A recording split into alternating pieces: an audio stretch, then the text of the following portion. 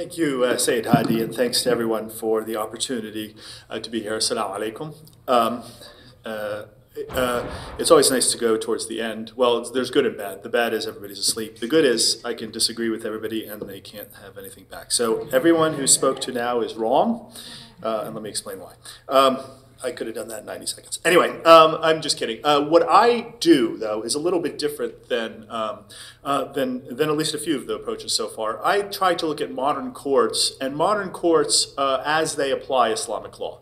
Um, and I don't view it as necessarily in conflict with the kinds of things that Asifa was talking about or Dr. Kadivar was, uh, was talking about. Um, uh, uh, the point I would make is whether or not it's a good thing or a bad thing?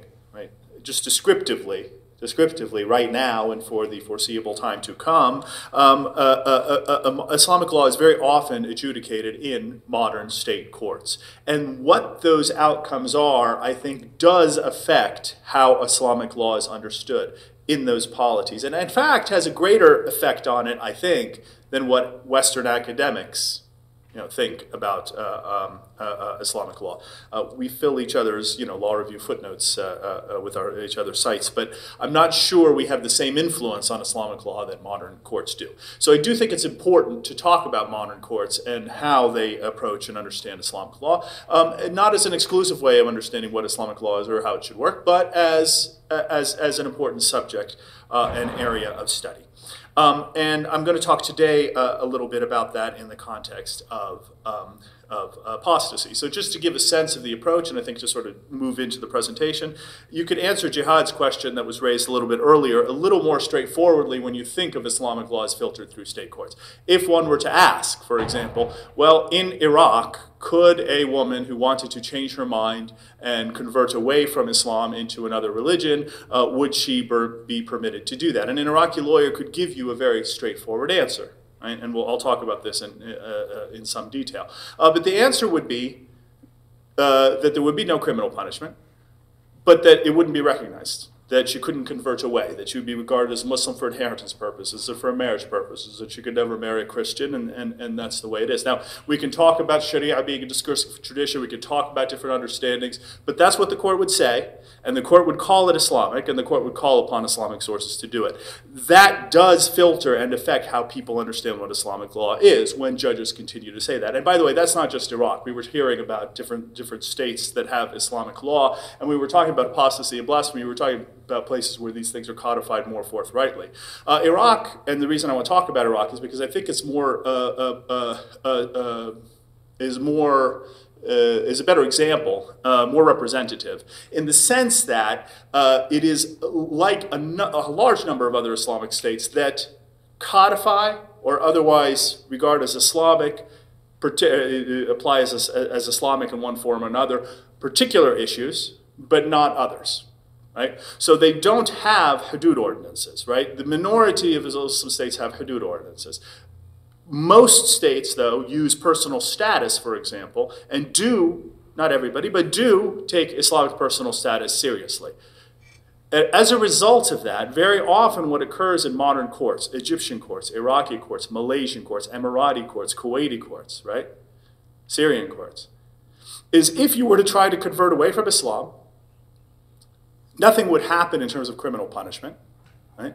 But you wouldn't be able to, for personal status purposes, you'd be regarded um, as a um, as a Muslim. I wanted to walk through a few cases, representative cases, and I really want to do sort of a chronology of Iraqi law to talk about some of the tensions and some of the ways in which that might be breaking down right? I don't think we're giving enough credence to the fact that, uh, that there may be more plurality uh, that's evolving in modern court practice uh, with respect to its interpretation of Islamic law uh, than existed in the past. So uh, if we were going to start the Iraqi story, we would start it in the year 2000. Uh, the Malaysians would start a little bit earlier with a famous case called Lina Joy. Um, but in Iraq, you start in the case in 2000. And what normally happens in Iraq and the way that these conversion cases work, they worked differently, and the ones I'm going to talk about, they worked a little bit differently in Malaysia. Um, but the way they worked in, in Iraq was uh, you would have cases in which the child was born into a particular religion. So in the 2000 case, the famous 2000 case, the child, uh, the, the, it was a girl, she was born uh, in 1979, and her father converts into Islam in 1989. And she's pulled in with her father and then listed in the civil records as Muslim. in 1989. As soon as she turns 18 in 1997, says, I don't want to be Muslim. I never chose to be Muslim. I would like to be recorded as a Sabian, right? Religious minority, mentioned in the Quran, people of the book, etc. And so the, this comes to the court right? And the court, uh, uh, and she quotes actually a, a, a, presidential decree. This is a Saddam era presidential decree from 1988, uh, in which Saddam says, well, anybody who wants to do this can do it. If they had an original religion, they can come back to their religion of origin um, within one year of attaining the, the year of majority. But then in 1994, Saddam Hussein found God. He invaded Kuwait. He had problems, so he found God. And, uh, uh, the sad thing is, you all bought it. I mean, not you, but uh, anyway. So uh, uh, uh, God is found, and he says, "Well, another presidential decree comes out, and it says, well, when we said you could convert back, we mean consistent with the rules of the Sharia. You can convert back." to the extent that it's consistent with the rules of the Sharia. So the court says, ah, Sharia. So we have two principles in the Sharia court. Number one, once you've converted into Islam, you're not allowed out. Nobody can convert away from Islam, right? Once you're Muslim, you, you can't convert uh, away from Islam. Now, we've had discussions about that over lunch and before lunch and late. Let me just say this, and I don't think this is controversial. There's a deep pedigree to that, whether or not it's uncontroversial, whether or not one can understand the classical jurists elsewhere. It's not hard for a court to pick up stuff, to define redda from a classical text, to pick up stuff from a classical text and to say you can't convert away. And indeed, uh, the punishment is death. We, uh, me and Arafat, I think we, I'm not sure if we disagree or not. Uh, the way I read Sarakhsi, uh, men are put to death for apostasy, but women are uh, imprisoned and, and, beaten. They're not, uh, they're not uh, uh, killed. In any event, it's not, it's not much by way of religious freedom. Again, you can contextualize it, right? But that's, that's, that's what the court is drawing upon. The second thing that it draws upon is this idea that if the father, uh, either the parents convert, the child converts with the parent. And let me say, there's not nearly as much pedigree for that. And what's very interesting is the court deliberately, at first I thought this was just sloppy, but seems to be misquoting its authorities, right? So it starts with, uh, it starts with uh, uh, Ibn Qudama, uh, where I found it, uh, uh, uh, this, this idea. it goes on to Sarakhsi, where I found this idea. And then it says, for the Shia source, it says Shara'i al-Islam for Muhaqqiq al-Hilli which is just all wrong, I mean, in terms of the, the, the, the, the source description. And then it pulls up as the, as the, as the Shafi'i source, Muhammad al-Shawkani, which I don't know who would think he's a Shafi'i. but in any event, it pulls up all these weird different sources. Um, and I, it's not that easy to find in these sources. And indeed, it, it, with respect to the Shia sources that it claims to be finding, there's really nothing at all. The Shia, the position is always to focus on whether or not the, uh, the, the, the child was born Muslim or not. That has important consequences in Shia jurisprudence, which continue to last. It's nice to talk about context, but to this day, Shia jurists continue, in the world of the nation state, continue to have the same opinion, right? Which is, uh, if you were born Muslim, you can't convert away and there's no opportunity to repent even. Uh, but if you were not born Muslim and you try to turn back to your religion of origin, at that point you have three days to repent. Again, for men, not for women. For women, they're imprisoned and then beaten during the prayer times. So uh, the, uh, uh, uh, it's not hard to find stuff about apostasy. It's much harder to find stuff about forcing children in. The other issue, of course, that arises is that the child is 10. And within Shia rules, she'd be an adult anyway, right? Marry, consummate the marriage, all that. Um, and so, enter into a contract, etc. So, uh, uh, uh, what's interesting is that the court does apply what it calls an apostasy rule, right? But it's not really an apostasy rule. It's not applying any sort of punishment, right? It's merely refusing to recognize something, which you would never do in any other crime, right? In any other crime, you wouldn't say, oh, uh, you're accused of drug trafficking. Oh, no, drug trafficking is illegal. It wouldn't happen in our society. It didn't happen. No, we refuse to recognize it, right? You wouldn't do this in any other case. What they're just doing is refusing to recognize the conversion rather than punishing it in any sort of formal sense. You also have a choice that you're going to somehow apply Iraqi law principles to who is a, the age of majority, but Islamic law principles. And you have a choice of whatever the Saddam Hussein was saying in 1994 somehow revoked what was saying in 1988, and it's not necessarily clear. You could have said the great and brilliant Saddam Hussein uh, was merely pointing out that he follows the Sharia, which is obvious because he's great and brilliant, uh, signed court. Um, uh, so there's any number of things that could have been done. One of the things that I think is always interesting and important to point out as you look at some of these cases is the extent to which judicial choice is really involved in a lot of this. That is to say, when you say you're going to take a fiqh rule that, that, was, that, that, that imagined a very different policy in which nation states didn't exist, and we had Dar al-Islam and Dar al-Harb, and we had a whole bunch of different things, and you're going to put that and you're going to apply it into a modern court structure, in addition to the issues that Asifa was talking about, about monopolization of law in the nation state, you also have a modern court system and a modern court judge, and you have issues of standing and issues of jurisdiction and issues of, of presidential decrees and the standing of presidential decrees and the relative priority to give to them and to give to elements of Islamic law. And what you see is a series of choices being made. A, ju- a court wanting to somehow assert some false sense of piety by preventing this girl from uh, uh, uh, converting uh, backwards. Okay, that's Saddam Hussein's time. Uh, could be the could be the argument.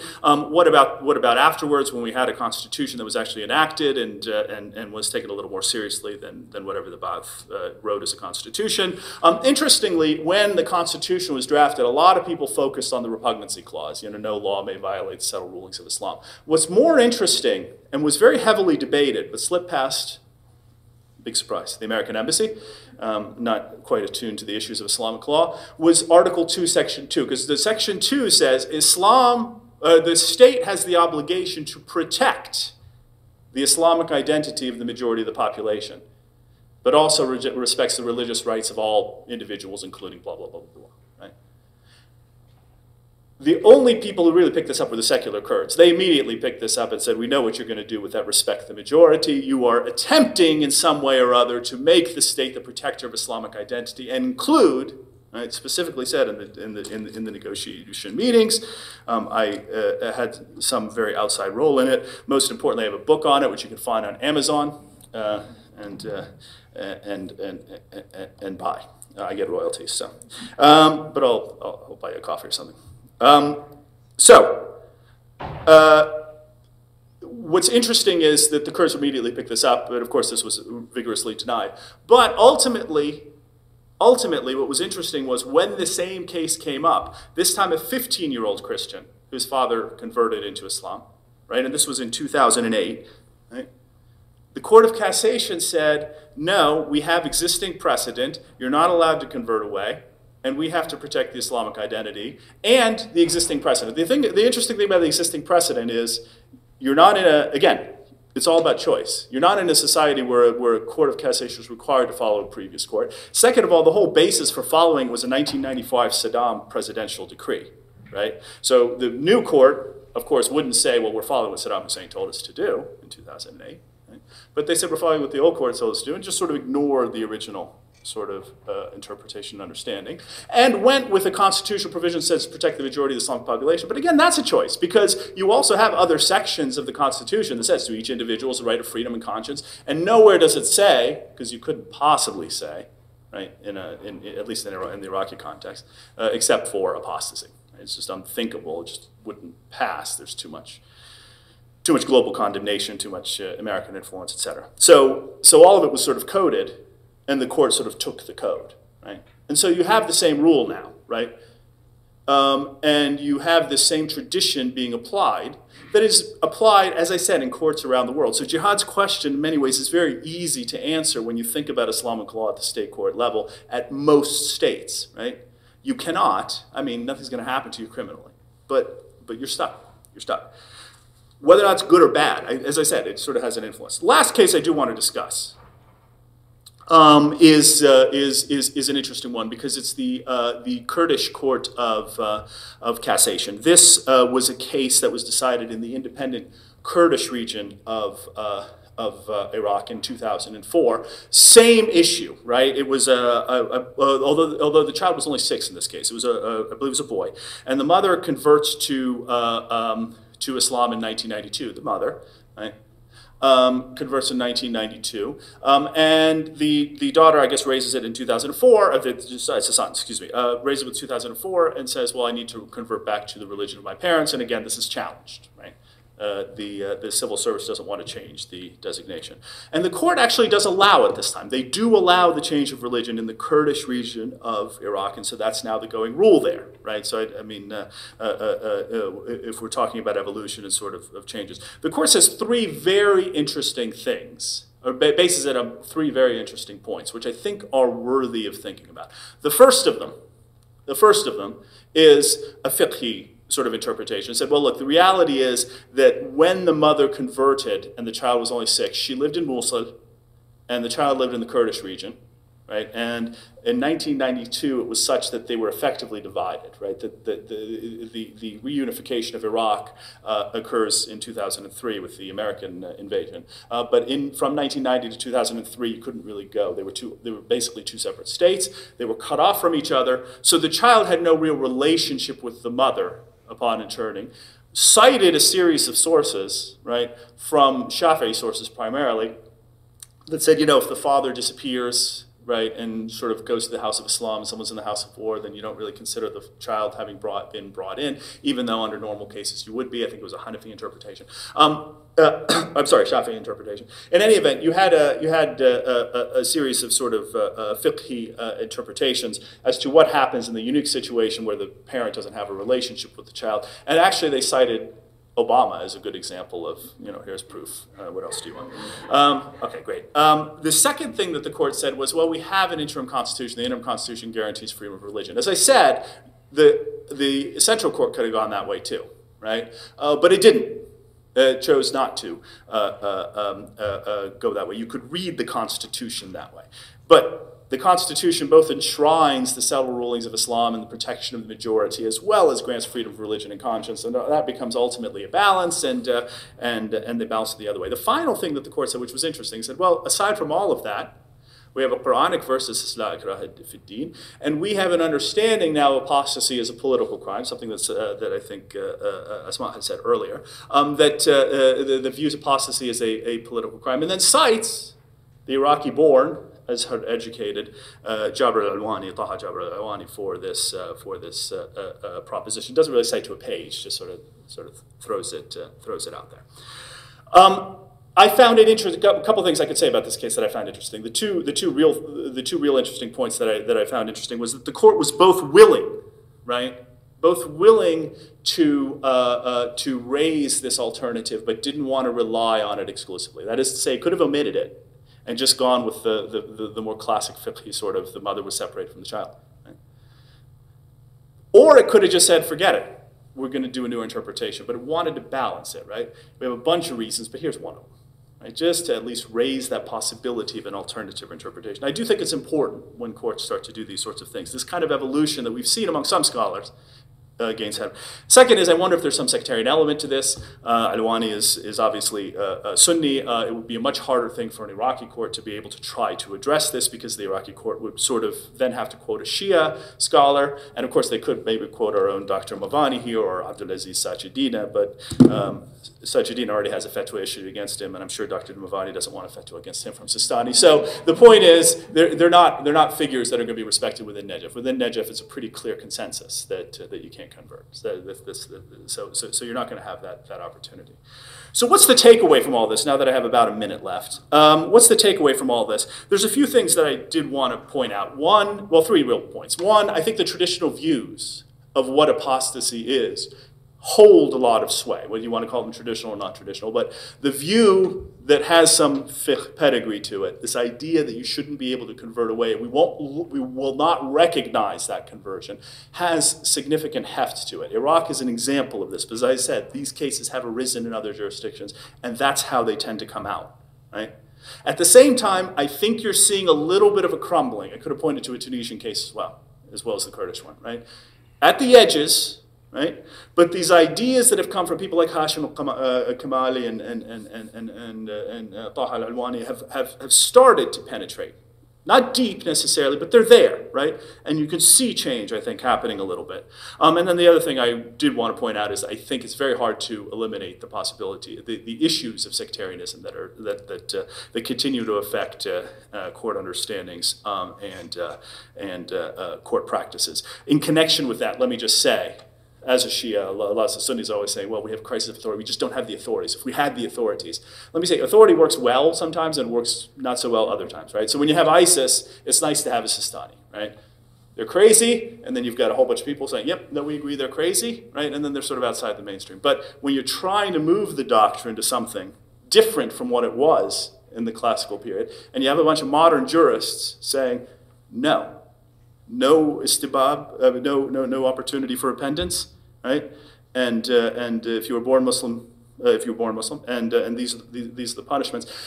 It's very hard then to try to say, well, let's try to contextualize, let's try to understand, because you are talking about modern jurists and you're sort of standing in their face. Um, and it becomes harder to move the doctrine, let's just say, more liberally. So you can control it, but there's, but there's definitely disadvantages to the process as well. Oh, anyway, that's all I had, um, and uh, uh, I look forward to questions.